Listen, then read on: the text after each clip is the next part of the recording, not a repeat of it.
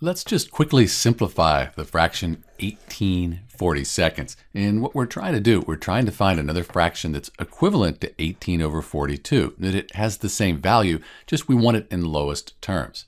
So you could write the factors for 18 and 42, but since both of these are even numbers, I'm just going to divide both of them by 2. 18 divided by 2 is 9, and 42 divided by 2 is 21. It's a little easier for me to work with because I know that 3 will go into 9 and 21. 9 divided by 3 is 3.